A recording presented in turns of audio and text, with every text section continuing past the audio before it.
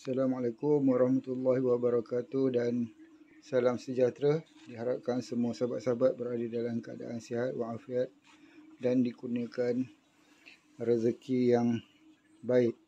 Baik, hari ini saya akan uh, membuat penggandaan koloni di mana saya menggunakan kaedah pindah silang.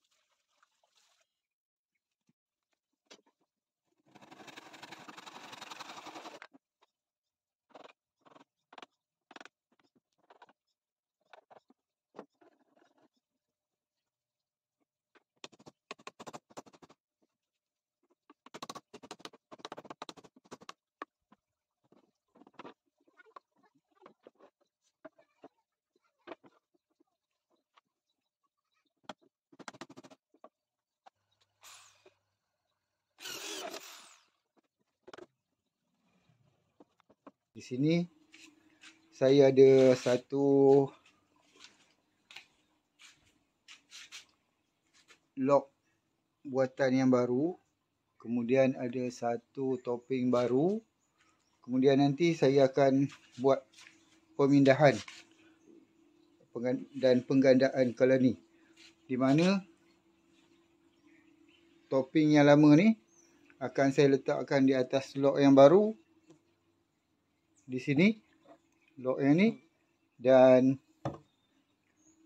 topping yang baru akan saya letakkan di atas lock yang lama. Ha, sebelum tu saya akan ambil dulu ha, telur-telur uh, yang dah uh, hampir-hampir uh, matang untuk dipindahkan ke dalam uh, lock dan topping yang baru sikit ya.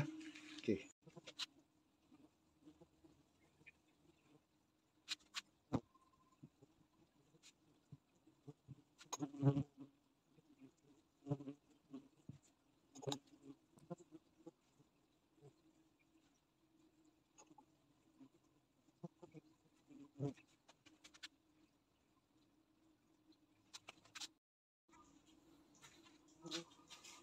saya ambil sikit telur daripada lock yang uh, daripada topping lama ni dan akan dimasukkan dalam uh, lock baru lah.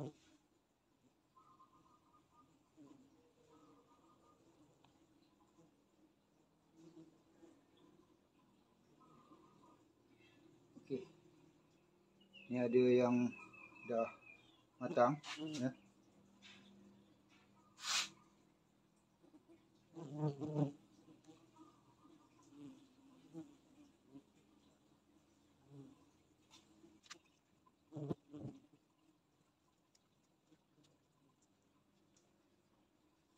Okay, ini ada satu telur calon ratu.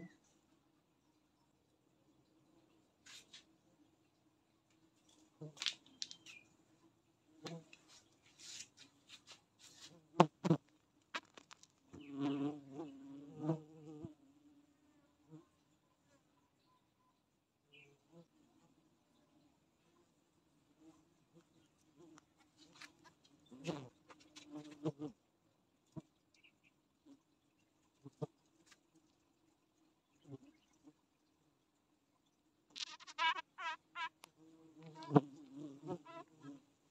ni ada satu lagi telur calur satu saya akan letak atas topping baru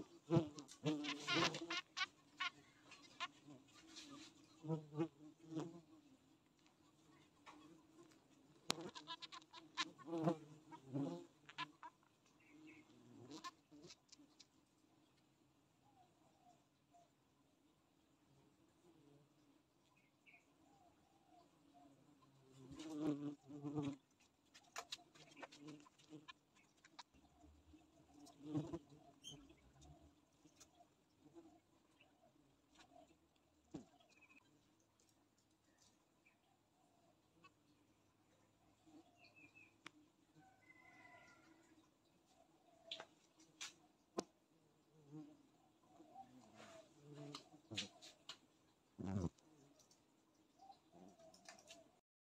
Sekarang saya akan buka topping lama dan letak atas uh, lock yang baru.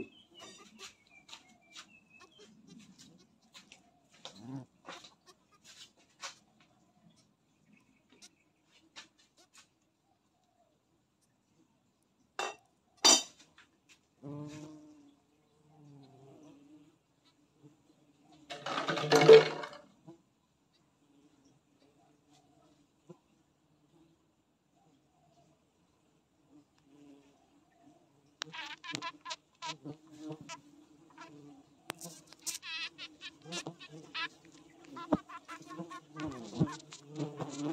baru letak atas lock ni.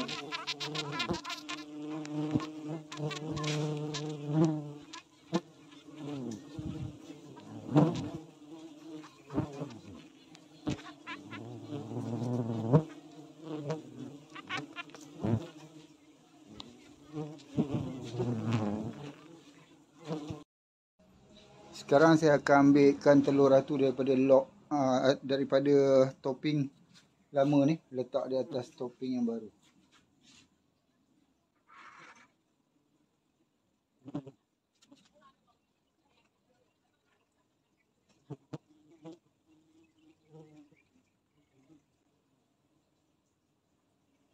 Okey, dekat sini ada satu telur calon ratu saya letakkan dalam topping baru. Okey, selesai saya rasa proses pemindahan ni. Kita boleh tutup ni dan pindahkan lock baru ni ke tempat yang lain nanti.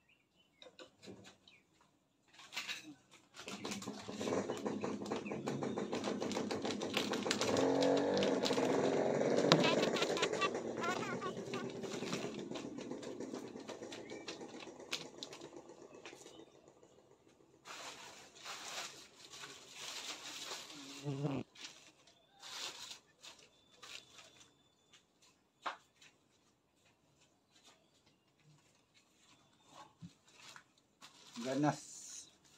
Dulu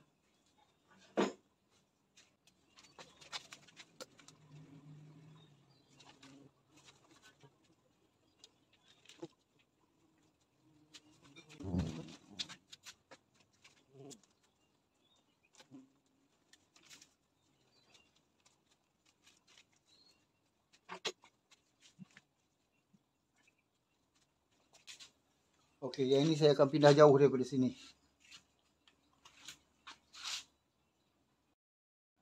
Okey, ini dia proses pindah silang yang telah saya jalankan di mana lock lama dipadankan dengan topping baru. Kemudian lebih kurang 7 meter daripada sini. Ini dia topping lama di atas lock baru. Okey. Uh, kita lihatlah perkembangannya dalam 2 3 hari ni. Uh, lock ni saya tutup. Uh, saya tutup supaya kelulut ni tak boleh keluar untuk tempoh 1 hari, 2 hari ni lah. Nanti kalau dia keluar, dia akan balik ke tempat sana. Uh, tempat yang asal dia. Jadi hari ni dan esok saya tak akan buka dululah. Tunggu dulu uh, dua hari saya akan buka. Nanti kita lihat perkembangannya selepas dua hari. Hari ni saya akan buka net ni untuk kelulut ni supaya boleh keluar. Tapi sebenarnya kelulut ni dah keluar dah eh? dia buat satu ha, dekat sana tu Ha ni. Kat sini. Ha tu. Dia buat satu corong. Uh, mungkin ada lubang di antara lock dengan uh, topping ni. Jadi dia buat uh, dekat situ. Uh, jadi nampaknya dia lebih dulu keluar daripada uh, waktu yang sepatutnya lah. Uh, tapi tak apalah. Uh. Bahagian ni pun saya dah buka. Cuma nanti nak letak sikit propolis lah dekat sini. Supaya ada bau, dia boleh keluar masuk kat sini. Okey. Pada hari kelima. satu telur ratu dah netas dan ada satu lagi yang ni ha, ini mungkin akan menetas tak lama lagi lah. Ha, ini keadaan dalam topping topping baru setelah lima hari.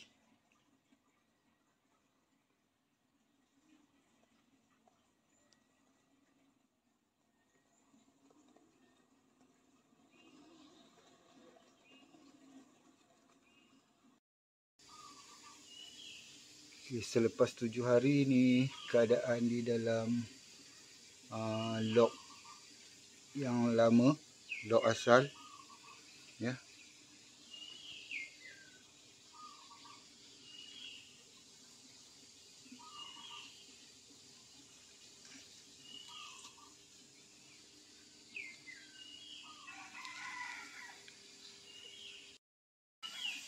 Okey, ini pula keadaan di dalam lock yang baru uh, di mana kelulut ni kekal membuat corong dia di antara lock dengan topping.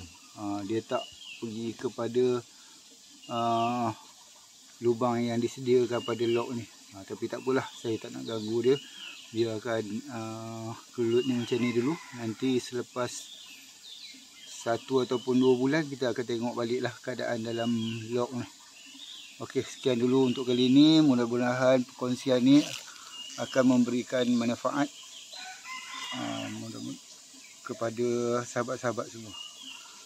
Assalamualaikum warahmatullahi wabarakatuh.